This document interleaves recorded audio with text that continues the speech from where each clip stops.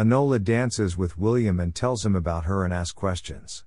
William advises Enola not to probe him too much because they are both being observed.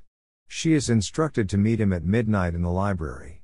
As she waits for him, she is arrested and brought away by the police. But, before being taken away, she gives documents to Tewksbury. Superintendent Grail interrogates Enola and asks about Sarah, but she doesn't know about her.